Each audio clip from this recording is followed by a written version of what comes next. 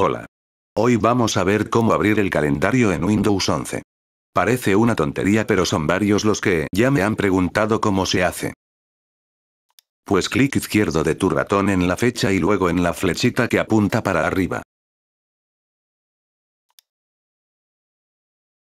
Si quieres cerrar el calendario pues lógicamente otra vez clic en la flechita para abajo.